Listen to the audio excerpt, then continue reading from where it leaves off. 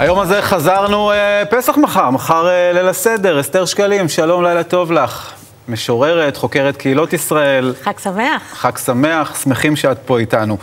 אסתר, אנחנו מבקשים לדבר איתך על uh, כמה מה... Uh, איך נגדיר את זה? מנהגי, מנהגי הפסח בקרב, uh, בקרב uh, עדות ישראל. Uh, ואת מספרת לנו שלרבות מעדות המזרח בעצם לא הייתה כוס של אליהו הנביא. בהחלט, אני יכולה לספר לך יותר מזה, שהסיפור הזה mm-hmm. הוא זה שבעצם הניע אותי להתחיל לחקור את קהילות ישראל. וואו, עד כדי כך. ממש. כי כשהייתי ילדה קטנה, mm-hmm. בבית הספר היסודי, בכיתות הנמוכות, המורה תמיד הייתה מספרת לקראת פסח על כל מיני מנהגים, הייתה מספרת על אליהו הנביא, שבכל בית יהודי טוב יש על השולחן את הכוס של אליהו הנביא. זהו, את הכוס, הסיפור עם הלילה, שהוא נכנס כן, ושותה. והוא נכנס, וזה. והוא שותה, והוא mm-hmm. מברך את כל האנשים, כל אחד במה שהוא צריך, וכולם מבסוטים. Mm-hmm. אני כל שנה הייתי הולכת הביתה והייתי אומרת, הלך עליי, אלינו הוא לא יבוא, לא ייכנס, לא יברך. וכלום. למה? והאכזבה הזאת, לקום נורא. בבוקר ולראות את הכוס מלאה לא, בחזרה על השולחן. לנו בכלל לא היה כוס, כן. לא הייתה לנו כוס. אצלנו לא הייתה כוס של אליהו הנביא. Mm-hmm. חשבתי שאולי אנחנו לא יהודים טובים, אתה יודע, mm-hmm. זה... אז uh, במהלך השנים, עם עוד כל מיני דברים כאלה, uh, החלטתי שאני רוצה לחקור את העניין. וכשחקרתי, התברר לי שכל העניין הזה, פעם ראשונה הוא מוזכר בקושי במאה ה-15 באשכנז, רק במאה ה-17 המנהג הזה מתפשט. מאוחר. די מאוחר, זה בקושי 300 שנה. ואז הוא מגיע לקהילות אשכנז שהיו קשורות, ל, ל, ל, סליחה, מגיע לקהילות המזרח שהיו uh, קשורות ל, לקהילות אשכנז. עכשיו, לאיראן הוא לא הגיע. לא, לקול, לא, לא לכורדיסטן, לא לעיראק, לא לתימן. ואיפה אה, הייתה כוס של פרעה? יש כזה דבר, כוס של פרעה? כוס של פרעה הייתה אצל הקוצ'ינים. למה?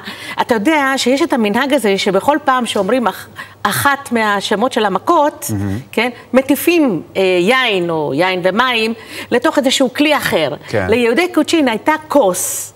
והכוס הזאת, היא הייתה הכוס של המכות, שלתוכה היו מטיפים, mm-hmm. וקראו לה הכוס של פרעה. טוב, באיזה עדה נהגו ללבוש בגדים מרופטים בליל הסדר? גם זה, זה קרה. כן, בטח. זה קשור למנהג שקיים בהרבה מעדות המזרח, mm-hmm.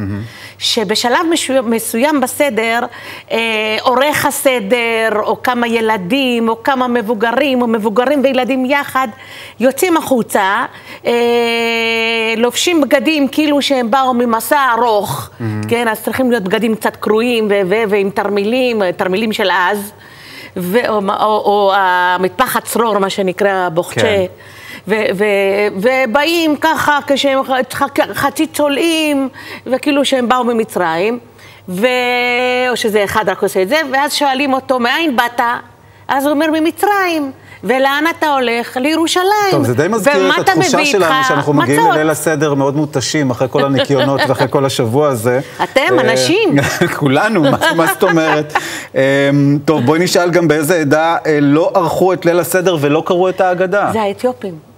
האתיופים חוגגים את ליל הסדר ממש כמו שכתוב במקרא. וזה, לפי המסורת שלהם, הם בני שבט דן, mm-hmm. שהם יצאו מהבית, שהם יצאו מארץ ישראל עוד בתקופת בית ראשון. זאת אומרת שהם לא הכירו לא את המשנה ולא את התלמוד ולא את ההגדה, כי זה הרבה יותר מאוחר. הם גם לא הכירו את פורים וחנוכה. אז הם עושים, הם היו עושים זבח, פסח. ממש כמו שכתוב בתורה. והקייס היה מספר את כל הסיפור של יציאת מצרים, אבל לא דרך ההגדה שלנו, ההגדה שלנו היא מאוחרת יותר. כן. וככה הם היו חוגגים את החג, אבל בארץ הם כמובן עושים סדר. טוב, בואי נשאל גם מי המציא את המצה המרובעת, מה שאנחנו זהו. מכירים במתכונת הנוכחית, כן? כן, תראה, כן. המצה שהשתמשו בה בכל קהילות ישראל מאז ומתמיד היא עגולה, כי כתוב שהם עפו עוגות מצות, mm-hmm. וגם זה, הצורה של הפיתה העיראקית הרי, כן. גם הצורה שעושים אותה על הסאג' או בצורה אחרת היא עגולה.